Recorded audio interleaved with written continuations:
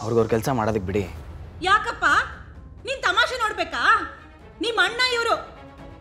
ಹೋಗಿ ನಿನ್ ಗೆಳೆಯಂಗೆ ಹೇಳು ನಮ್ಮನ್ನೆಲ್ಲ ಬಿಟ್ಬಿಡು ಅಂತ. ಅವ್ರನ್ನ ಬರಕ್ ಬಿಡಿ. ಇಲ್ಲ. ನಾನ್ ನನ್ ಗಂಡನ್ನ ಎಲ್ಲೂ ಬಿಡಲ್ಲ. ನೀವ್ ಅವ್ರನ್ನ ಮುಟ್ಟೋ ಹಾಗಿಲ್ಲ. ನಿನ್ಗೆ ಈಗ ಹೇಳಿದ್ರೆ ಅರ್ಥ ಆಗಲ್ವಾ? ನಮ್ಮ ರೀತಿಲಿ ಹೇಳ್ಬೇಕಾ? ಕಷ್ಟ ಕಾನ್ಸ್ಟೇಬಲ್ನ.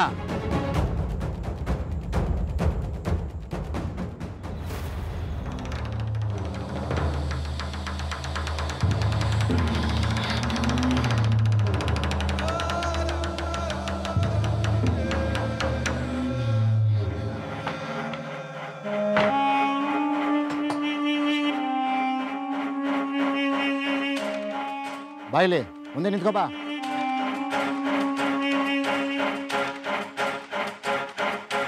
ಬೇಗ ಸಾಹೇಬ್ರು ಕರಿತಾ ಇದಾರೆ ಬಾ.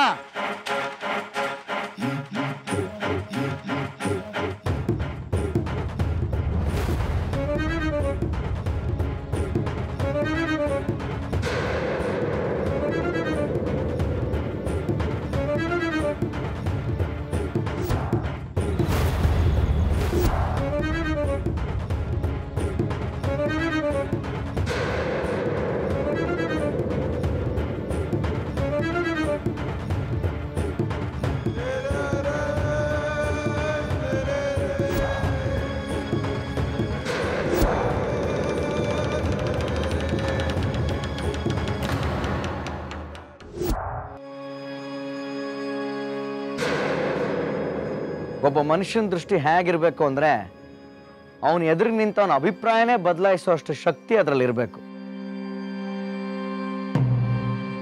ಈ ಶಕ್ತಿ ಇರೋ ದೃಷ್ಟಿ ಯಾರ ಹತ್ರ ಸತ್ಯ ಇರುತ್ತೋ ಅವನ ಹತ್ರ ಮಾತ್ರ ಇರುತ್ತೆ.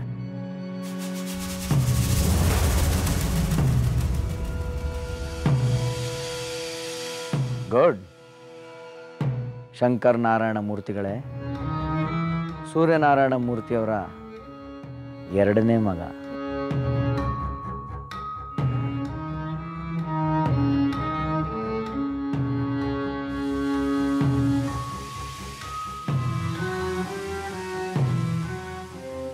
ತಮಗೆ ಫಲವತ್ತಾದ ಜಮೀನು ಸಿಗಲಿಲ್ಲ ಅನ್ನೋ ಕೋಪ ಅಲ್ಲ? ಅಕ್ಷಯ್. ಏಯ್ ಸಾಹೇಬ್ರ ಹತ್ರ ಮಾತಾಡ್ತಾ ಇದೀಯಾ? ಮೈ ಮೇಲೆ ಪ್ರಜ್ಞೆ ಇರಲಿ. ನಾನೇನು ಮಾಡಿದೆ? ಹೇಳ್ತೀನಿ. ಎಲ್ಲ ಹೇಳ್ತೀನಿ. ಯಾಕಂದರೆ ಎಲ್ಲರ ಜಾತಕ ನನ್ನ ಹತ್ರ ಇದೆ, ಹಾಂ? ಯಾರು ಏನು ಮಾಡಿದ್ರು, ಯಾಕೆ ಮಾಡಿದ್ರು, ಅದರಿಂದ ಏನಾಯಿತು ಎಲ್ಲ ಗೊತ್ತಾಗುತ್ತೆ.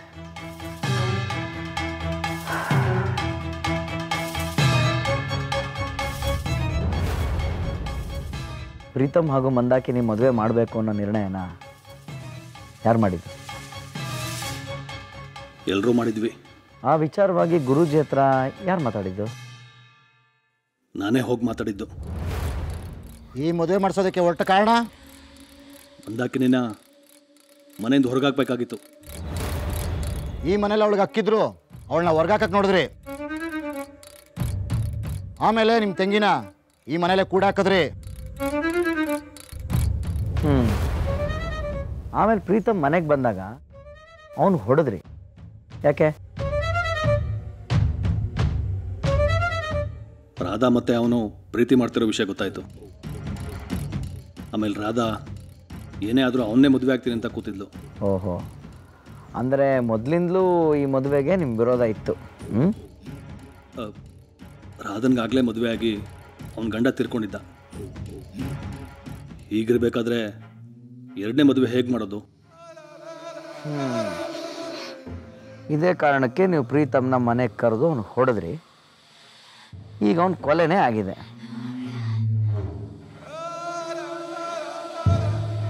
ಇದೇ ಥರ ನಿಮ್ಮ ಹಾಗೂ ವಕೀಲರ ನಡುವೆನೂ ಜಗಳ ಆಗಿತ್ತು. ಅವ್ರಿಗೂ ಹೊಡಿತೀನಿ ಅಂತ ನೀವು ಹೆದರ್ಸಿದ್ರಿ.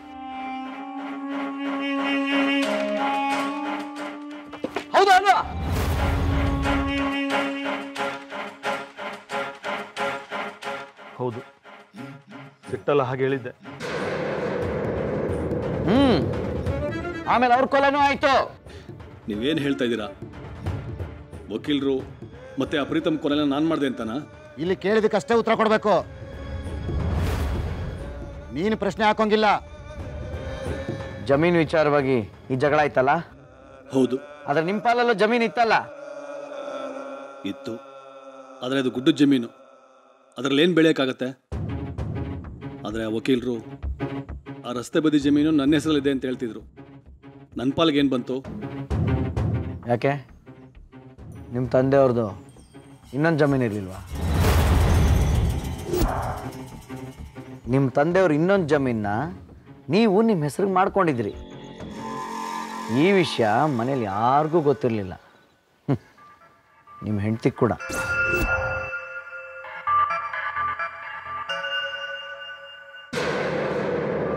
ಯಾಕೆ ಮುಚ್ಚಿಟ್ರಿ ಮನೆಯವರಿಂದ ಈ ವಿಷಯನ? ಆದರೆ ಪ್ರೀತಮ್ಗೆ ವಿಷಯ ಎಲ್ಲ ಗೊತ್ತಿತ್ತು. ನಾ ಹೇಳಿರಲಿಲ್ಲ? ಅವನೆಲ್ಲ ಸಾಕ್ಷಿಗಳನ್ನ ಒಂದು ಕಡೆ ಒಟ್ಟು ಮಾಡ್ತಿದ್ದಾನೆ ಅಂತ? ಅವನ ಹತ್ರ ಈ ಮನೆಗೆ ಸಂಬಂಧಪಟ್ಟ ಎಲ್ಲ ಮಾಹಿತಿಗಳು ಇದ್ವು. ಇದು ನಿಮ್ಮ ಬಗ್ಗೆ ಇದ್ದಂಥ ದೊಡ್ಡ ಮಾಹಿತಿ. ಈ ವಿಷಯ ಯಾವಾಗ ನಿಮಗೆ ಗೊತ್ತಾಯ್ತೋ ಆ ಪ್ರೀತಮ್ ಕೊಲೆನೂ ಮಾಡಿದ್ರಿ. ಇಲ್ಲ. ನಿಜವಾಗ್ಲೂ ನಾನೇನು ಮಾಡಿಲ್ಲ. ಹ್ಮ್. ಹಾಗಿದ್ಮೇಲೆ ಮದುವೆ ಹಿಂದಿನ ದಿನ ರಾತ್ರಿ ನೀವೆಲ್ಲಿದ್ರಿ? ಯಾಕೆ ಹೊರಗೋಗಿದ್ರಿ?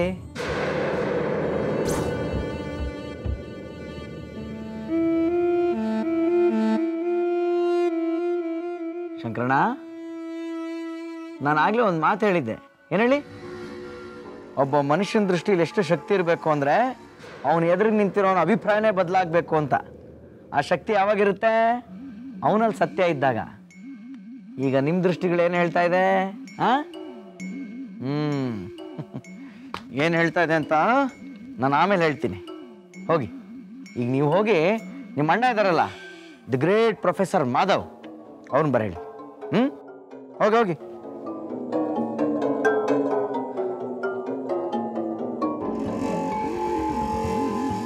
ಯೋಗಿ ಅಲ್ಲಿ ಡೋರ್ ಕ್ಲೋಸ್ ಮಾಡಿ ಚೇರ್ ತಂದು ಇಲ್ಲ ಹಾಕು.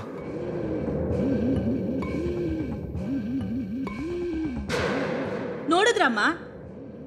ನಿಮ್ಗಿನ್ನೂ ಇಬ್ರು ಗಂಡ್ ಮಕ್ಳಿದ್ದಾರೆ ಆದ್ರೆ ಪೊಲೀಸರು ನನ್ನ ಗಂಡನ್ ಮಾತ್ರ ವಿಚಾರಣೆ ಮಾಡ್ತಾರೆ. ಅದಕ್ಕೆ ಅವ್ರಿಗೇನೋ ವಿಚಾರಿಸ್ಬೇಕು ಅಂತಿರತ್ತೆ ಅದಕ್ಕೆ ಕರ್ಕೊಂಡೋಗಿರ್ತಾರೆ ನಿನ್ನ ಯಾಕೆ ಅವ್ನು ವಿಚಾರಿಸಲ್ಲ? ಹಾ ನಿನ್ ಗೆಳೆಯ ಅಲ್ವಾ? ಅದಕ್ಕೆ ವಿಚಾರಿಸಲ್ಲ. ಯಾರು ಏನ್ ಬೇಕಾದ್ರೂ ಮಾಡ್ಕೊಳ್ಳಿ. ಅಲ್ಲಿ ಏನ್ ನಡೀತಿದೆ ಅಂತ ನಾನು ನೋಡೇ ನೋಡ್ತೀನಿ. ಅತ್ಗೆ ಅತ್ಗೆ ಹೊರಗಡೆ ಚಿಲ್ಕ ಹಾಕೊಂಡು ಹೋಗಿದ್ದಾರೆ ಅವರು.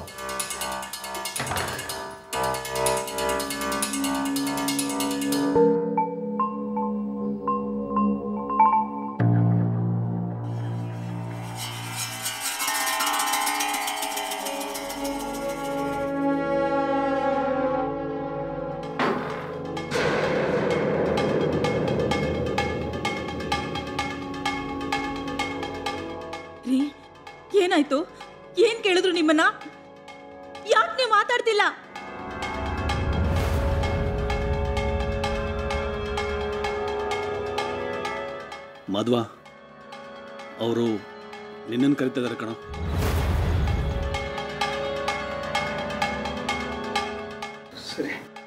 ಮಾಧವ್ ನಾನು ಬರ್ತೀನಿ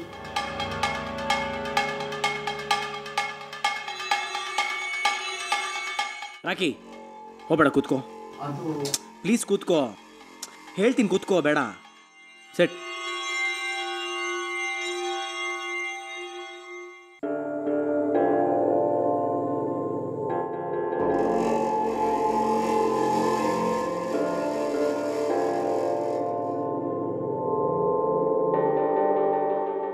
ಪ್ರೊಫೆಸರ್ ಮಾಧವ್ ಅವರೇ ನಿಮ್ಮೊಬ್ರನ್ನ ಕರೆದಿದ್ದು. ನಿಮ್ಮ ವೈಫ್ ಯಾಕೆ ಬಂದರು? ನೋಡಿ ನಮ್ಮ ಯಜಮಾನ್ರಿಗೆ ಏನೂ ಗೊತ್ತಾಗಲ್ಲ. ಅವ್ರು ಏನೇನೋ ಮಾತಾಡ್ಬಿಡ್ತಾರೆ. ಅದಕ್ಕೆ ನಾನು ಅವ್ರ ಜೊತೆ ಬಂದಿದ್ದೀನಿ. ಮೇಡಮ್ ಇಲ್ಲಿ ಏನೇನೋ ಮಾತಾಡೋಕ್ಕಾಗಲ್ಲ. ಸತ್ಯನೇ ಮಾತಾಡಬೇಕು. ನೀವು ಒಳಗೋಗಿ.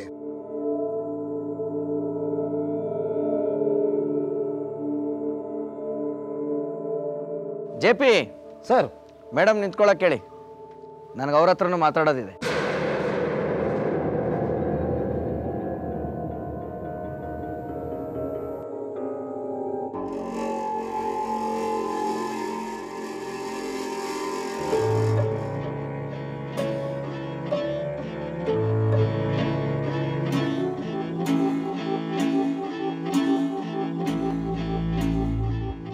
ಹೇಳಿ ನೀವು ನನ್ನ ಜೊತೆ ಏನು ಮಾತಾಡಬೇಕಿತ್ತು? ನಮ್ಮ ಮೇಲೇನೂ ಸಂಶಯನಾ?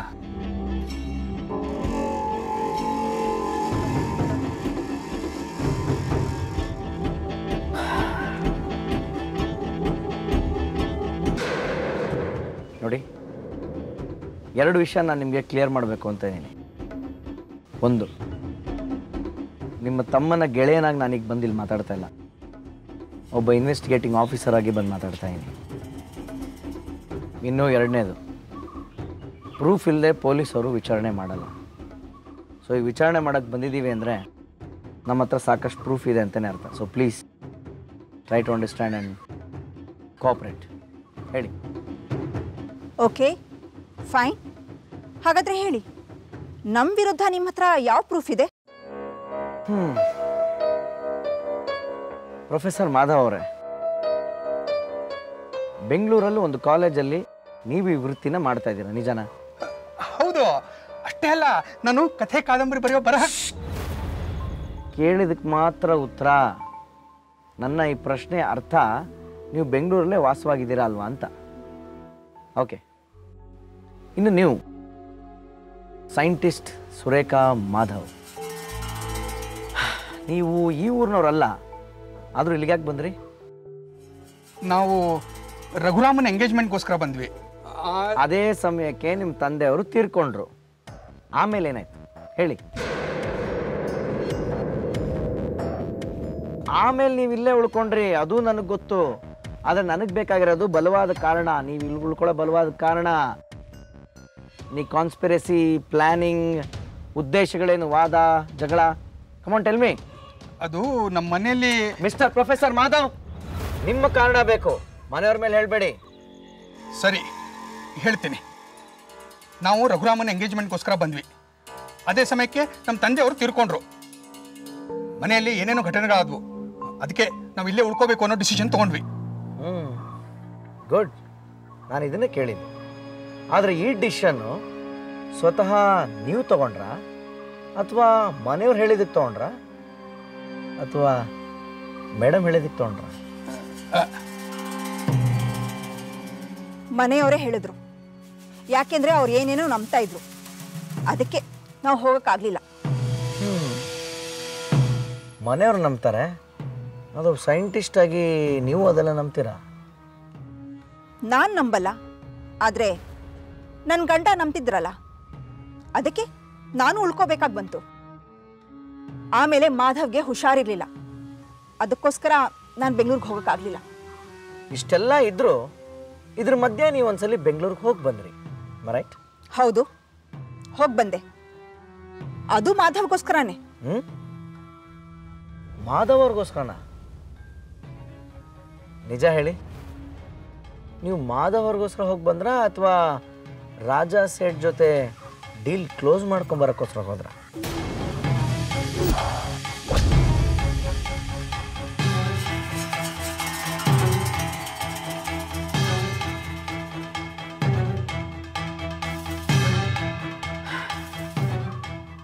ನೋಡಿ ನಮಗೆ ಗೊತ್ತಿಲ್ಲ ಅಂತ ನಾವು ನಿಮ್ಮನ್ನು ಕೇಳ್ತಾ ಇಲ್ಲ.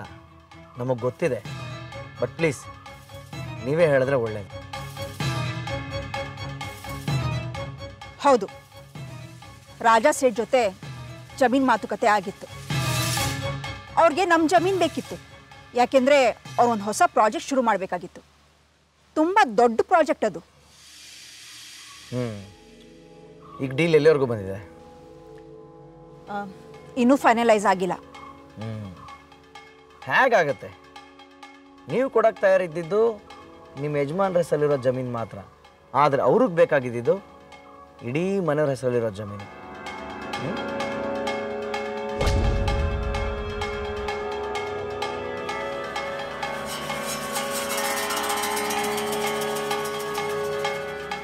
ಇದೆಲ್ಲ ಪ್ರೀತಮ್ನಿಂದ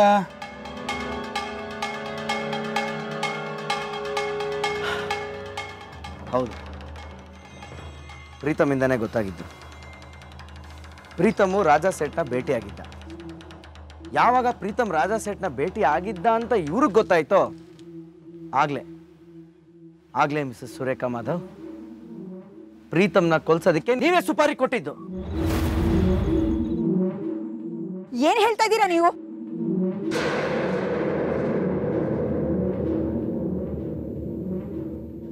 ಹೌದು. ರಾಜಾ ಸೇಠ್ ಜೊತೆ ಜಮೀನ್ ಡೀಲಿಂಗ್ ನಡೀತಾ ಇತ್ತು. ಆದ್ರೆ ಯಾವಾಗ ಅವರು ಇಡೀ ಫ್ಯಾಮಿಲಿ ಜಮೀನೇ ಬೇಕು ಅಂತ ಹೇಳಿದ್ರು, ನಾನು ಬರೀ ಮಾಧವ್ ಹೆಸರಲ್ಲಿರೋ ಜಮೀನ್ ಮಾತ್ರ ಕೊಡಕ್ಕಾಗತ್ತೆ ಅಂತ ಅವ್ರಿಗೆ ಹೇಳ್ದೆ. ಅದಕ್ಕೆ ಡೀಲ್ ಲೇಟ್ ಆಗ್ತಿತ್ತು. ಅದಕ್ಕೋಸ್ಕರ ನನ್ನನ್ನು ಕನ್ವಿನ್ಸ್ ಮಾಡಕ್ಕೆ ಆ ರಾಜಾ ಸೇಠ್ ಇಲ್ಲೇ ಮನೆಗೆ ಬರಕ್ ಶುರು ಮಾಡಿದ್ರು. ಒಂದಿನ ಬೈ ಚಾನ್ಸ್ ನಾನು ಪ್ರೀತಮ್ನ ಅವ್ರ ಜೊತೆ ನೋಡಿದೆ. ಇನ್ಫ್ಯಾಕ್ಟ್ ನಾನು ಅವನ ಹತ್ರ ಡೈರೆಕ್ಟ್ ಆಗಿ ಕೇಳಿದ್ದೀನಿ ನಿನ್ಗೂ ರಾಜಾ ಸೇಠ್ಗೂ ಏನ್ ಸಂಬಂಧ ಅಂತ? ಆದ್ರೆ ಅವನ್ ಉತ್ತರ ಕೊಡ್ಲಿಲ್ಲ. ಅಲ್ಲ ನಾನು ಅವನ್ನ ಕೊಲ್ಸ್ಬೇಕು ಅನ್ಕೊಂಡಿದ್ರೆ ನಾನು ಯಾಕೆ ಅವನ ಹತ್ರ ಡೈರೆಕ್ಟ್ ಆಗಿ ವಿಷಯ ಮಾತಾಡ್ತಿದ್ದೆ? ಅಕ್ಷಯ್ ನಾವು ಯಾರೂ ಪ್ರೀತಮ್ಮನ ಕೊಲ್ಸಿಲ್ಲ. ದಯವಿಟ್ಟು ಅರ್ಥ ಮಾಡ್ಕೋ.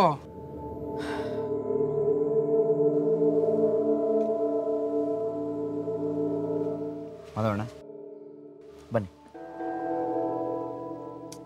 ಬನ್ನಿ. ಬನ್ನಿ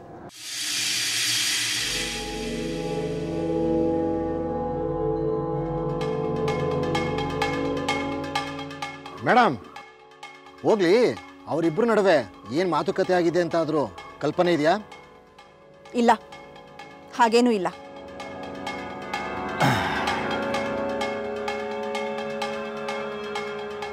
ಮಾಧವಣ್ಣ ನಿಮ್ಮ ಕಾದಂಬರಿ ಈಗ ಎಲ್ಲಿವರೆಗೂ ಬಂತು? ಅದರಿಂದ ಏನಾಗಿದೆ ಇವಾಗ? ವಿಚಿತ್ರವಾದ ಘಟನೆಗಳು ಭಯಾನಕವಾದ ಘಟನೆಗಳು ಅದರಲ್ಲಿ ದಾಖಲಾಗಿವೆ. ಅಂದರೆ ಭಾನಾಮತಿ ಕೊಲೆ ಜಗಳ. ಹೌದು. ಅದ್ರ ಜೊತೆಗೆ ಈ ಮನೇಲಿ ನಡೆಯೋ ಘಟನೆಗಳು ದಾಖಲಾಗಿವೆ. ಹೌದು. ಅಂದರೆ ಅದು ಹಾಗಲ್ಲ. ಎಲ್ಲ ಕಾಲ್ಪನಿಕ ಕಾಲ್ಪನಿಕ. ಎಲ್ಲ ನಿಮ್ಮೊಬ್ಬರದೇ ಕಲ್ಪನೆನಾ ಅಥವಾ ಯಾರು ಸಹಾಯ ಮಾಡ್ತಾರೆ ಇದಕ್ಕೆ? ಇಲ್ಲ ಇಲ್ಲ. ಎಲ್ಲ ನನ್ನ ಒಬ್ಬನೇ ಕಲ್ಪನೆ. ನಾನು ಒಬ್ಬನೇ ಕಲ್ಪನೆ ಮಾಡ್ಕೊಂಡಿರೋದು. ಹಾಂ. ಅಂದಮೇಲೆ ನೀವು ಕಲ್ಪಿಸ್ಕೊಂಡ ಹಾಗೆ ಈ ಮನೇಲಿ ನಡೆಯುತ್ತಲ್ಲ ಅದು ಹೇಗೆ? ಅಂದ್ರೆ ನಿಮ್ಮ ಮಾತಿನ ಅರ್ಥ? ಸಂಶಯ ನಿಮ್ಮ ಮೇಲೂ ಇದೆ ಅಂತ. ಅಕ್ಷಯ್ ಯಾಕೆ ಹೀಗೆಲ್ಲ ಮಾತಾಡ್ತಾ ಇದೀಯಾ? ನಾವು ನಿನ್ನನ್ನು ನಮ್ಮ ಮನೆಯವರು ಅಂದ್ಕೊಂಡಿದ್ದೀವಿ ಇಷ್ಟು ದಿನ ನೀನು ನಮ್ಮ ಮನೆಯಲ್ಲಿದ್ದು ನಮ್ಮನ್ನೆಲ್ಲ ಹತ್ತಿರದಿಂದ ನೋಡಿ ಹೀಗೆ ಮಾತಾಡ್ಬೋದಾ? ಮಾಧವಣ್ಣ ನಾನು ಈ ಊರಿಗೆ ಬಂದಿದ್ದು ನಿಮ್ಮ ಮನೇಲಿ ಇದ್ದಿದ್ದು ಎಲ್ಲ ತನಿಖೆ ಸಲುವಾಗಿ. ನನಗೆ ಸಂಬಂಧ ಮುಖ್ಯ ಅಲ್ಲ ಈ ಕೇಸ್ ಸಾಲ್ವ್ ಆಗೋದು ಮುಖ್ಯ. ಸರಿ ನೀವೇನು ಹೊರಡಿ. ಹಾಂ? ಏನಂದೆ? ನೀವೇನು ಹೊರಡಿ ಅಂತಂದೆ.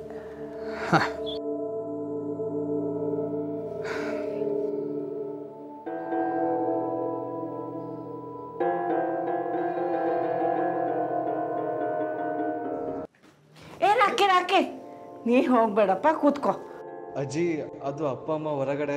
ಏನೂ ಆಗಲ್ಲ ನೀ ಸುಮ್ಮನೆ ಕೂತ್ಕೋ. ಪ್ಲೀಸ್ ಅಜ್ಜಿ ನಾನು ಹೋಗ್ತೀನಿ. ಬೇಡಮ್ಮ ಹೇಳಿದ ಮಾತು ಕೇಳು. ರಘು. ಕರ್ಕೊಂಡು ಹೋಗಪ್ಪ ನಿನ್ನ ರೂಮ್ಗೆ ಸ್ವಲ್ಪ ಸಮಾಧಾನ ಮಾಡು. ದೇವಿಕ ನೀನು ಹೋಗು. ಬಾ. ಏ ಬಾರೋ.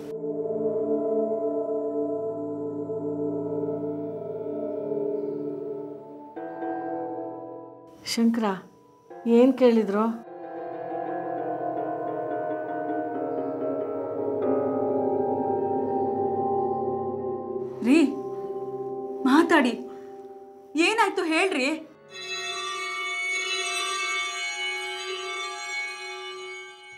ನಿಮ್ಗೇನಾದ್ರೂ ಮಾಡಿದ್ರೆ ನಾನು ಖಂಡಿತ ಅವನ್ನ ಸುಮ್ಮನೆ ಬಿಡಲ್ಲ. ನೋಡ್ತಾ ಇರಿ ನಾನು ಏನ್ ಮಾಡ್ತೀನಿ ಅಂತ.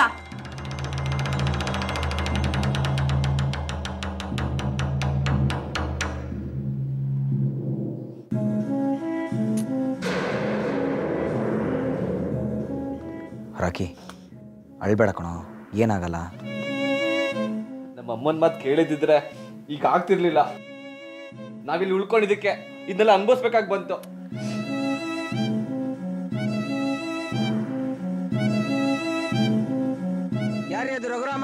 ಆಚೆ ಬನ್ರಿ. ನೋಡು ಕರಿತಿದ್ದಾರೆ. ಹೋಗ್ ಹೋಗು. Please go